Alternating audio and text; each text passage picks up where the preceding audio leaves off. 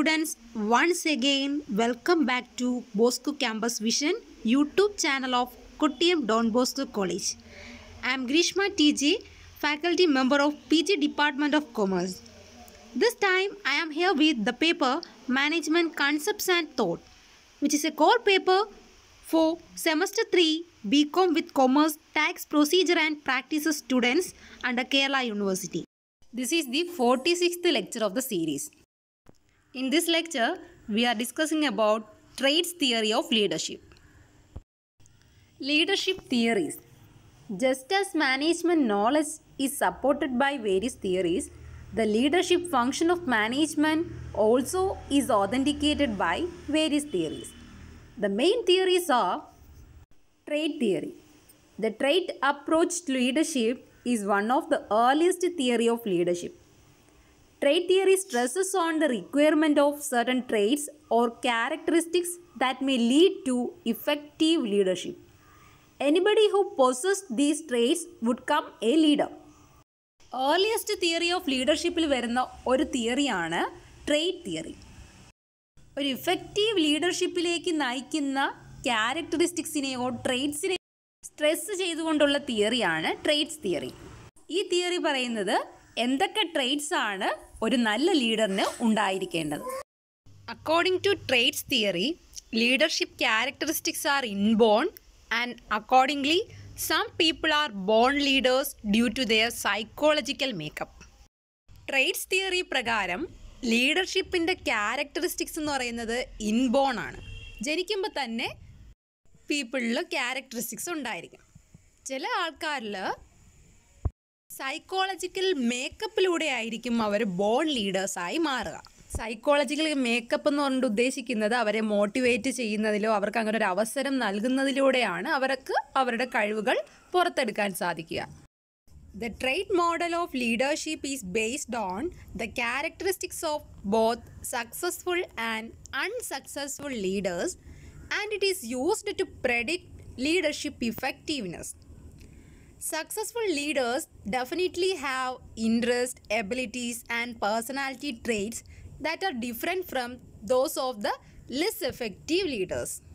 Successful ലീഡേഴ്സിന്റെയും unsuccessful ലീഡേഴ്സിന്റെയും ക്യാരക്ടറിസ്റ്റിക്സിനെ base ചെയ്തിട്ടാണ് ട്രേറ്റ് മോഡൽ ലീഡർഷിപ്പ് ഫോം ചെയ്തിരിക്കുന്നത് സക്സസ്ഫുൾ ലീഡേഴ്സിന് ഡെഫിനറ്റ് ആയിട്ടും ഒരു ഇൻട്രസ്റ്റും എബിലിറ്റീസും പേഴ്സണൽ ട്രെയ്റ്റ്സും ഒക്കെ ഇൻബോൺ ആയിട്ട് തന്നെ ഉണ്ടായിരിക്കും ലെസ് എഫക്റ്റീവ് ലീഡേഴ്സിനേക്കാളും ഡിഫറെന്റ് ആയിട്ടുള്ള പേഴ്സണാലിറ്റി ട്രെയ്റ്റ്സും എബിലിറ്റീസും ഇൻട്രസ്റ്റും ഒക്കെ സക്സസ്ഫുൾ ലീഡേഴ്സിനായിരിക്കും ഉണ്ടാവുക According to TED, there are 10 qualities that are essential for effective leaders.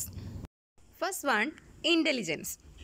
Ability to understand, analyze, and solve the problems.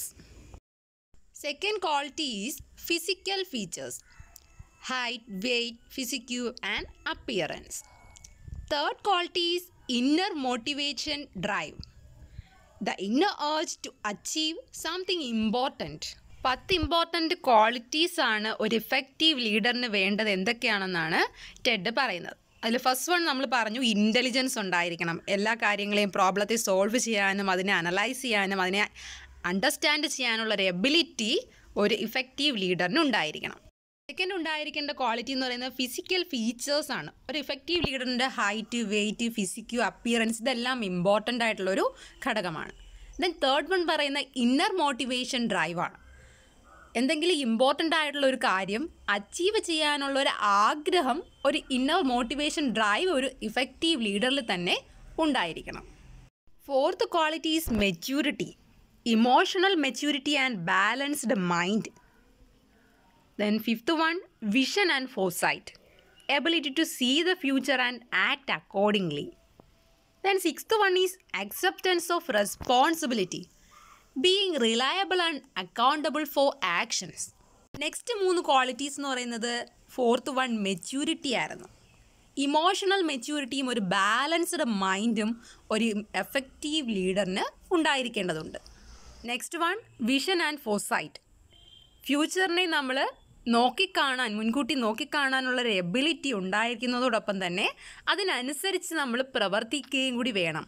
എങ്കിലും ഒരു എഫക്റ്റീവ് ലീഡറിന് ഉള്ള ക്വാളിറ്റി ഉണ്ടാവുകയുള്ളൂ. അപ്പോൾ വിഷൻ ആൻഡ് ഫോസൈറ്റ് ഉണ്ടായിരിക്കണം. Next one acceptance of responsibility being reliable and accountable for actions എന്തൊക്കെ പ്രവൃത്തികളാണോ ആ ഒരു ലീഡർ ചെയ്യുന്നത്?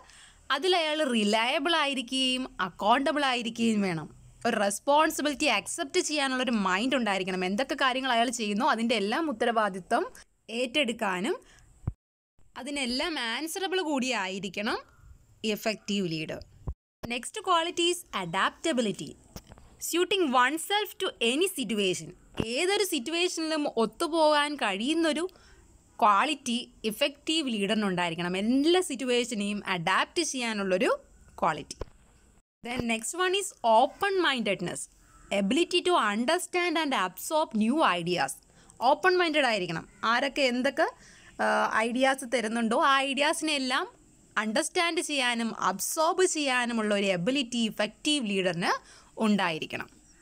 The next one is importance to human relations gives importance to followers and seeks their cooperation ഫോളോവേഴ്സിന് കൂടുതൽ importance കൊടുക്കുകയും അതോടൊപ്പം അവരുടെ കോപ്പറേഷനിലൂടെ ആ ഒരു വിജയം ഉറപ്പാക്കുകയും ചെയ്യേണ്ടത് ഒരു ഇഫക്റ്റീവ് ലീഡറിന്റെ ക്വാളിറ്റിയാണ് tenth quality is fairness and objectivity honesty fair play justice and integrity honesty ഉള്ള പേഴ്സൺ ആയിരിക്കണം ഫെയർ പ്ലേ ആയിരിക്കണം ജസ്റ്റിസ് ആയിരിക്കണം ഇന്റഗ്രിറ്റി ഉള്ള ക്വാളിറ്റി എല്ലാം ഉണ്ടായിരിക്കേണ്ട ഒരു ലീഡറാണ് ഇഫക്റ്റീവ് ലീഡർ എന്നാണ് ടെഡ് പറയുന്നത്. In the initial stages of the trait theory, it was accepted that leadership traits were completely inborn and not made. Later on, the expert revised their opinion and agreed that these qualities can be developed through education, training, and experience. Traits തിയറിയുടെ ആദ്യ സ്റ്റേജുകളിൽ ലീഡർഷിപ്പിന്റെ qualities ട്രേറ്റ്സുകളെല്ലാം inborn ആണ്. ഒരിക്കലും അത് ഉണ്ടാക്കാൻ സാധിക്കില്ല എന്നായിരുന്നു നമ്മൾ കരുതിയിരുന്നത്. പിന്നീട് എക്സ്പേർട്സ് അതിനെ റിവൈസ് ചെയ്യുകയും അവരുടെ ഒപ്പീനിയൻ തിരുത്തുകയും ചെയ്തു. ആ ക്വാളിറ്റീസ് എല്ലാം നമുക്ക് എഡ്യൂക്കേഷനിലൂടെയും ട്രെയിനിങ്ങിലൂടെയും എക്സ്പീരിയൻസിലൂടെയും ഒക്കെ നേടാൻ സാധിക്കുന്നതാണ് എന്ന് അവർ പിന്നീട് കണ്ടെത്തുകയുണ്ടായി. Okay my dear students please do the homework and send me back through WhatsApp thank you.